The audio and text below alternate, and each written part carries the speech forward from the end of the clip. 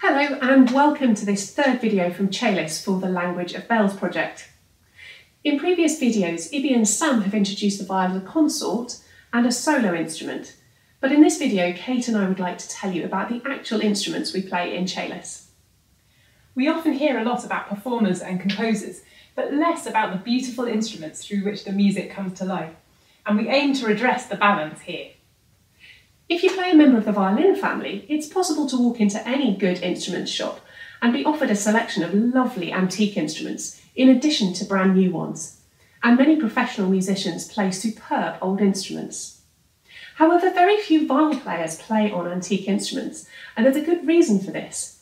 Viols fell out of fashion in the latter half of the 18th century, and many old instruments were cut up and used to build other instruments.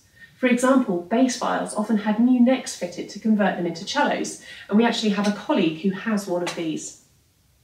And of the old instruments that do survive, many aren't in their original condition, having been modified as fashions changed, and there were even forgeries made as it became desirable to collect older instruments in the 19th century. The majority of older instruments are now in museums or private collections, and very few players are fortunate enough to own one. So what do the rest of us play on? Most viol players play on modern instruments, largely made in the second half of the 20th century and this century, and they're built by incredibly skilled craftspeople. These viol makers will either create instruments based on original viols or design their own models. There are two ways of acquiring an instrument. You can either commission a maker to build a new one, or look for one that's already made or second-hand. And the viols we have here represent both of these options. Kate and I both play on instruments made by the fabulous German maker Renate Fink. In 2006 or 7, I commissioned Renate to make me a consort bass viol based on an instrument made by Henry Smith in 1637. It's very special as a musician to work with an instrument maker to have an instrument built especially for you. Indeed, Samuel Pepys mentions several visits to see his viol maker, Mr Hunt, in 1663. On Friday, the 24th of July of that year, he wrote, And so up and down to many places, among others to the viol makers, and there saw the head, which now pleases me mightily. Pepys's mention of the head is to do with the carving at the top of his viol. Viols were most often owned by wealthy individuals, and it was commonplace for them to have their viols decorated in various ways, usually by ornate carvings or inlays. Members of the violin family almost always have solid, plain scrolls. Viol scrolls, on the other hand, are pierced, like this one here, and can also have beautiful carving added to the scroll. But many viols have a head carved on the top, and some of the requests can be very imaginative, from elephants to unicorns and pipe smoking men. Here are a few examples.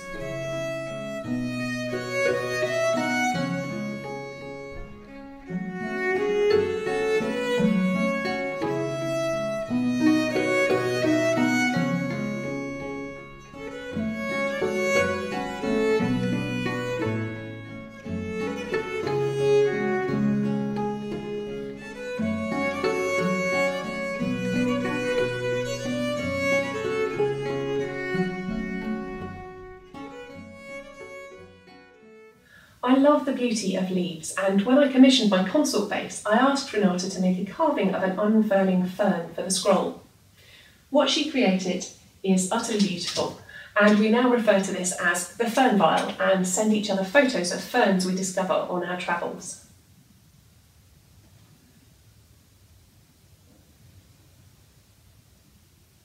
Renate also teaches viol making on short courses at West Dean College in West Sussex, where my dad has been making viols for many years. He started with a small bass viol for my mum, then asked me what I'd like. I said I'd like a violone, a large bass viol, and thus began a labour of love which led to this beautiful instrument here. It's very nearly finished, and I hope to be able to play it with Chelys in concerts next year.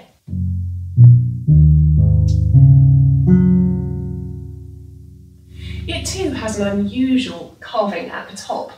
It's based on the statue of a dragon which we saw on a trip to Hampton Court together, and it was fantastic to see it emerge from the block of wood over time. I'm a really lucky lady. Dan's now making a tenor viol, which is probably light relief after making something of this size.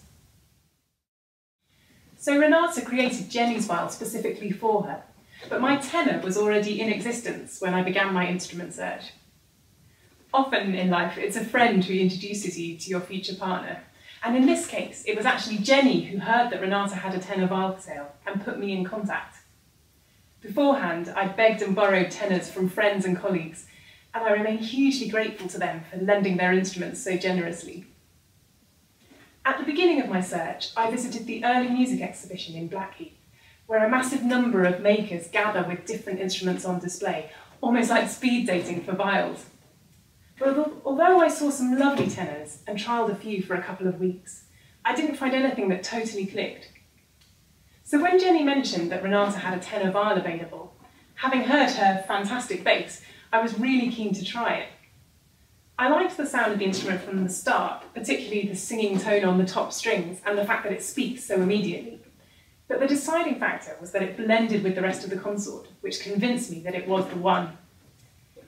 And I guess that that ability to try an instrument in context is one of the key advantages of buying a viol that's already made, as you can really hear how everything will sound. Later on, Renate and I met in person on the South Bank, near the Tate Modern, and discussed everything about the viol from cases to stringing. It's been wonderful to talk to her about it and ask her advice, and to hear the story of this instrument from the maker's perspective too. So those are our experiences of finding viols as players. But what is it like for the maker to work alongside a musician in creating an instrument specifically for them? We asked Renate to tell us. Hi, my name is Renate. Making musical instruments is the most satisfying thing I can think of. I initially started out as a musician myself, but I could never get to grips with stage fright, so I turned to making viola da gambas. This is great because through my instruments I still get up on stage, but someone else does the playing. There are two ways of making an instrument. A musician approaches a maker, or sometimes it is the other way round and commissions an instrument. It is always an honor when this happens, but at the same time there is the challenge and some trepidation of meeting the expectations of the musician. Each musician has a concept of sound, but to put this concept into words is not so easy. My task is to transfer this concept into making an instrument that will live up to what the musician has been hoping for. When Jenny approached me with her wish of a concert bass with a fern scroll, I was excited. I had met Jenny a few times through her parents and felt an immediate connection. We both have a love of nature, an eye for shape and form, and we both adore ferns. Jenny is very enthusiastic and open minded, so we basically went on an exploration of viol shapes and fern fronds together which was huge fun and still connects us to this day. Carving something like the fern scroll is really a unique one off thing to do, and it's huge fun because um, it gives joy to others and also to myself, of course. Jenny was also very clear how she wanted this bass to sound, and although there is never a guarantee when working with some lively material such as wood, I was pretty certain I could get close to her ideal.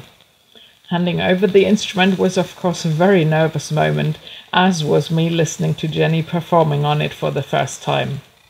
The fact that she still loves and plays the instrument is very satisfying. I don't think I could make a good instrument for someone I don't get on with.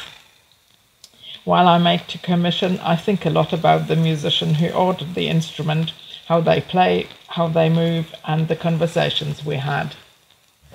Kate's tenor came into the world in quite a different way. It will probably remain the only instrument of mine someone else has had a hand in it. It was made when Alexandre Tremé worked with me as an employee and he expressed an interest to learn about viol, so we made it together. I occasionally make instruments without a commission, it is a very free way of making. There are no expectations, other than my own, of course. No pressure to get things finished for a certain date, and there is the joy of following my own ideas and to experiment and to learn. In fact, this tenor model is my own design. It is not based on an extant instrument, but strongly influenced by my understanding of English viols. I feel that every maker has his or her own voice which they give to their instrument. Each instrument I make without an order will find its musician eventually, and it is always exciting to me to see who this musician will be. When Jenny told me that Kate was looking for a viol, um, I had the chance to send my tenor over through a friend of mine so that Kate could try it. When the news came that she had approved of the tenor and that now two of my instruments would be played in Chelys concert, I wanted to meet Kate in person. So on my next trip to England, we arranged to meet up, and this was a very happy day. I feel that tenor has chosen her very well. My only wish now is to hear Chelys concert perform live in concert, but because we live in different countries, this has never come to pass yet. But surely one day it will, I hope so. So we've told you about the instruments that Kate and I play in Chelys, but we've asked the other members of the ensemble to introduce their viols and explain how they met them. This is my tenor viol, or actually not my tenor viol, but the tenor that I am lucky enough to be loaned to play in Chelys. It's made by a chap called Michael Metcalf, who, having made several really beautiful viols, decided it was maybe time that he learnt to play them. So I met Michael as a very new viol player on a course a good number of years ago, and from the very first moment I heard him play this tenor, I absolutely loved the sound.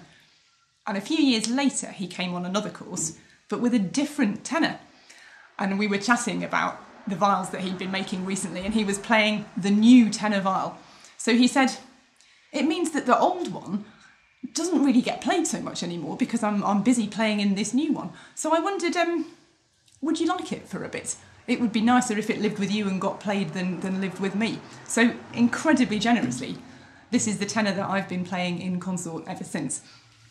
It's really, really beautifully made, and you can see fantastic head carved on the top. Slightly unusually and maybe ambitiously, and actually Michael said he would never ever do this to a viol again. It's got fantastically ornate pegs and a really beautifully decorated peg box. And the other thing that I particularly like about this instrument is on the back.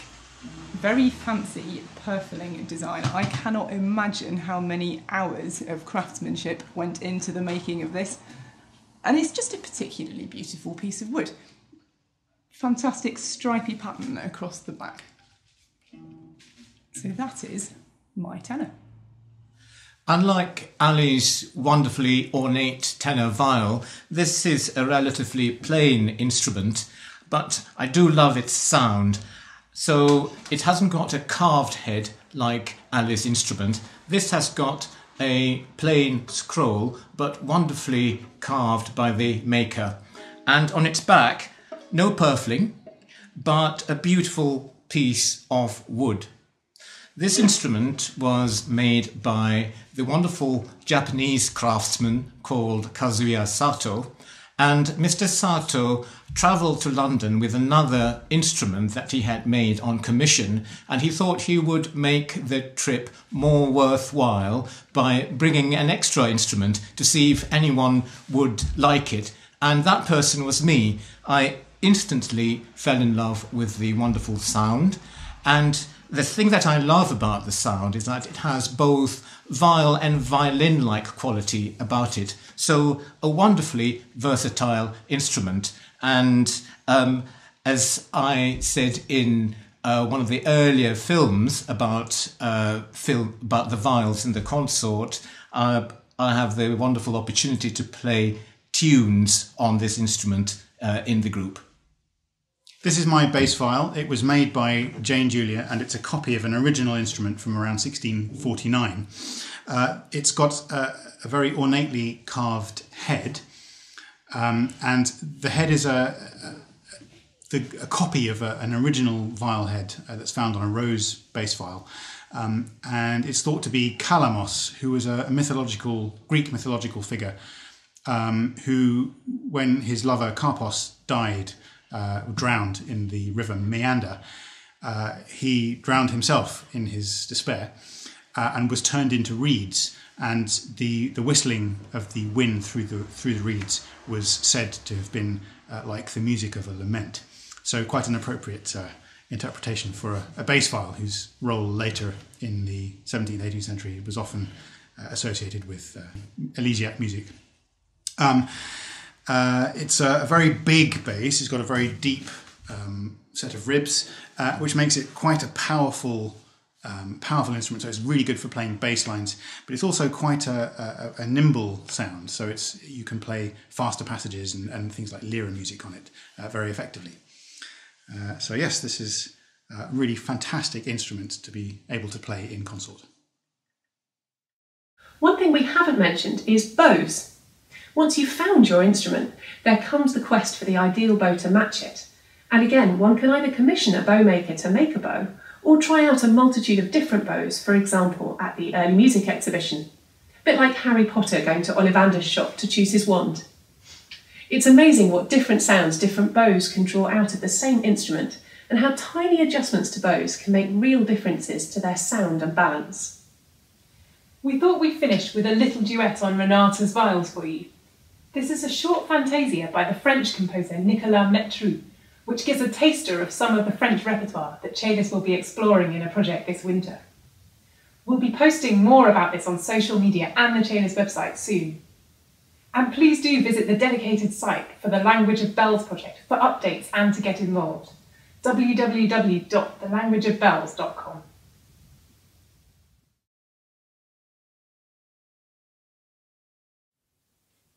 Mm-hmm.